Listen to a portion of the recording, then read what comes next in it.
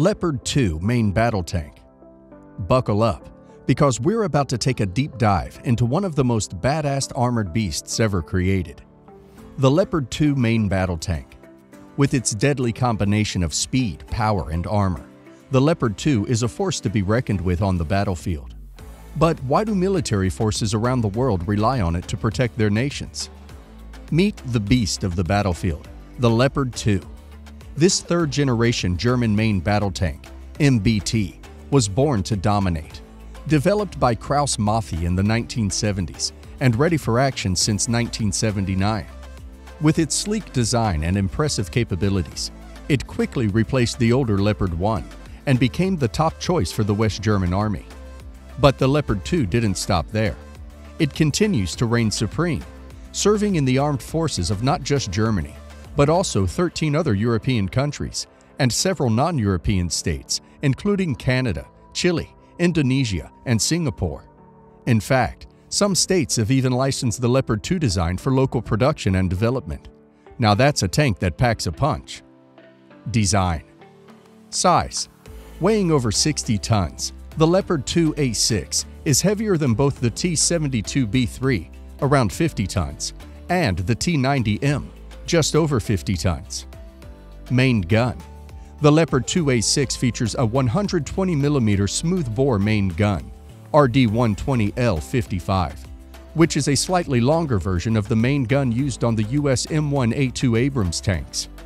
The T-72B3 and T-90M are both equipped with versions of the 2A46 125mm smoothbore main gun. Effective firing range with the capability of engaging targets with laser homing anti-tank munitions at up to 8,000 meters. The Leopard 2A6 outranges both the T-72B3 and T-90M. The two Russian tanks can effectively fire out to a range of 3 to 5,000 meters, depending on the specific version of the 2A46 main gun and ammunition used. Crew size The Leopard 2A6 requires a crew of four, one more than both the T-72B3 and T-90M. Armor The Leopard 2A6 has spaced armor, with additional composite armor for greater crew protection in some export versions, while the T-72B3 has both steel and composite armor, and the T-90M has slat armor. The Leopard 2A6 can also be equipped with explosive reactive armor, but it is unclear if this is included with the vehicles Ukraine will receive. The T-72B3 features Kontakt 5 reactive armor, and the T-90M is equipped with Relikt reactive armor. Operational history The Leopard 2 isn't just a tank, it's a true global defender. Over the years, this mighty machine has been put to the test in some of the most challenging and dangerous situations around the world. In the 1990s, German army troops used the Leopard 2 on peacekeeping missions in Kosovo, showcasing its versatility and effectiveness in tense and uncertain environments. But that was just the beginning. In the 2000s, Dutch, Danish, and Canadian forces deployed their own Leopard 2 tanks to Afghanistan as part of their contribution to the International Security Assistance Force, proving their power and precision on the modern battlefield. As we move into the 2010s, Turkish Leopard 2 tanks were called upon to face off against enemy forces in Syria, proving once again why this tank is a force to be reckoned with. And in the 2020s, Leopard 2 tanks donated by several countries to Ukraine are poised to see action in the Russian-Ukrainian war, demonstrating the global reach and power of this remarkable machine. So whether it's peacekeeping, combat, or defense, the Leopard 2 is always ready to answer the call. Manufacturing There's a lot more to the Leopard 2 than meets the eye. This remarkable main tank has undergone two main development tranches, with each bringing a new level of advanced technology and improvements to the battlefield. The first tranche includes tanks produced up to the Leopard 2A4 standard, featuring vertically faced turret armor. But the second tranche, from Leopard 2A5 onwards, takes things to a whole new level with angled arrow-shaped turret applique armor, alongside other upgrades that are sure to give the competition a run for their money. When it comes to armament, the Leopard 2 packs a punch with its smoothbore 120mm cannon, made by none other than Rheinmetall. But that's not all. The tank also boasts a digital fire control system, laser rangefinder, and cutting-edge night vision and sighting equipment, making it a true force to be reckoned with on the battlefield. And let's not forget about the tank's power source. A V-twin turbo diesel engine made by MTU Friedrichshafen, delivering the kind of power and agility you need in a tank that's ready for anything. Leopard 2 tanks use spaced multi-layer armor, made of a combination of steel plates, elastic materials, and non-metallic materials. The armor is designed to withstand large-caliber kinetic energy penetrators and shape-charge projectiles. The armor thickness is increased from 800 mm on the Leopard 2A4 to 1500 mm on the Leopard 2A5, and subsequent models with wedge-shaped armor modules. The tank also has armored skirts on the side of the hull to increase protection against projectiles and RPGs and reinforced hull floors for protection against mines. The Leopard 2 tank uses compartmentalization to protect the crew from possible sources of fire or explosion, with ammunition and hydraulics stored separately. The tank is also equipped with a Dräger NBC overpressurization system for protection against nuclear, biological, and chemical threats. Smoke mortars, fire extinguishers, and blow-off panels are also installed for additional protection. The Leopard 2's fire control system is an advanced suite of technology that includes dual magnification stabilized primary sight with an integrated ND, YAG laser rangefinder, and CMT thermographic camera.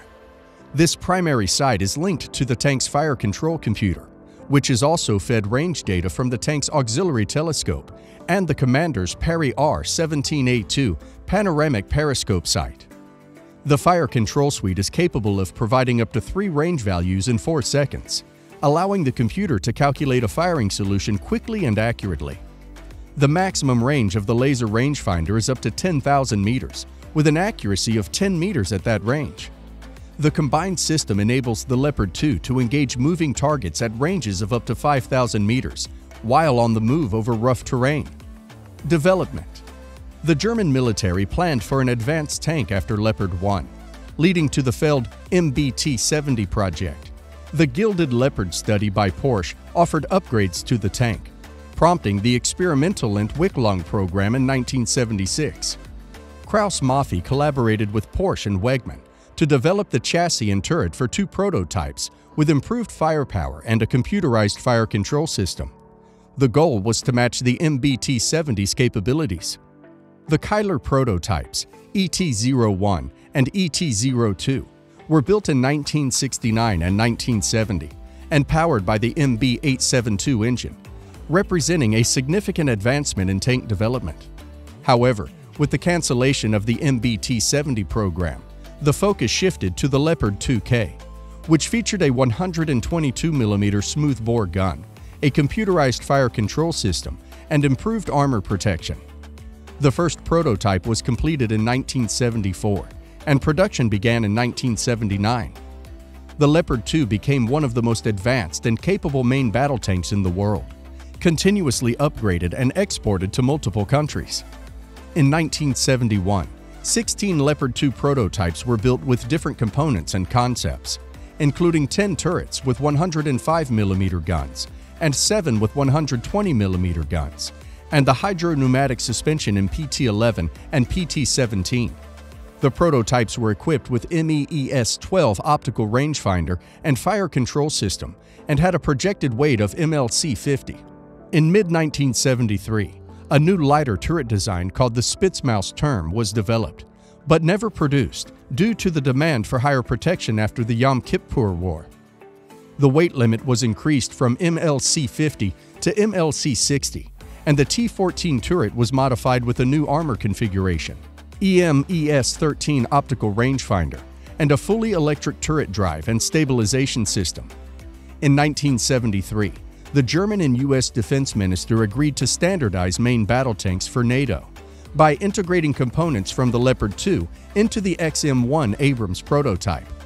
However, Due to American laws, Germany modified the Leopard 2 to meet U.S. Army requirements and sent a prototype, hull, ballistic test vehicle, and special ballistics parts to the U.S. for testing after a Memorandum of Understanding was signed in 1974. Advancements The Leopard 2AV was created to meet U.S. and German protection requirements, with a modified T-14 mod turret and simplified fire control systems. The final design had improved ballistics protection, resulting in the Leopard 2A1, introduced in 1982. The Leopard 2A2 featured further improvements and entered service in 1987. These versions greatly improved the Leopard 2's performance and protection, making it a widely exported main battle tank. The rejection of the Leopard 2AV by the U.S. Army led to a political debate in Germany, with some politicians questioning the competence of Bundeswehr's procurement office. However, it was eventually decided to continue the development of the Leopard 2 and sell it to foreign customers. The first export customer was the Netherlands, which ordered 445 Leopard 2s in 1979. Other countries that have operated the Leopard 2 include Switzerland, Austria, Sweden, Spain, Denmark, Norway, Finland, Canada, Greece, Turkey, and Singapore. The Leopard 2 has also been licensed produced in Spain and Turkey. The latest version of the Leopard 2, the Leopard 2A7 Plus, was introduced in 2014 and features enhanced protection, mobility, and situational awareness systems. As we look to the future, it's clear that the Leopard 2 will continue to evolve and adapt to meet the ever-changing needs of modern warfare. With that said, thank you for watching. Don't forget to like and subscribe to our channel. Also, press the bell icon so you never miss an update. See you in the next video.